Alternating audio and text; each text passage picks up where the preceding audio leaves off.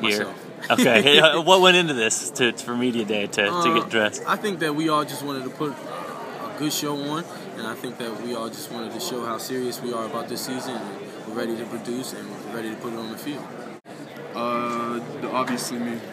And what went into the uh, outfit choosing for today? How, what kind of process was that? Uh, it wasn't too big of a process. I mean, this is my only suit I own, so I just threw it on. I got a couple shirts. I figured this one looks nice with the tie, so that's what I what I decided to wear.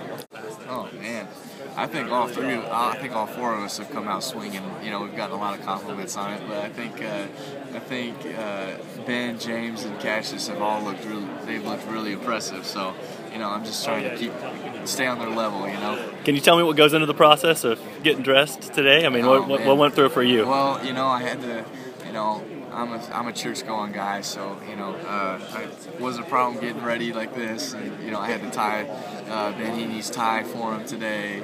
Um, you know, had to make sure everybody was ready to go. But yeah, they've, they've all been great. You know, they've been excited to dress up.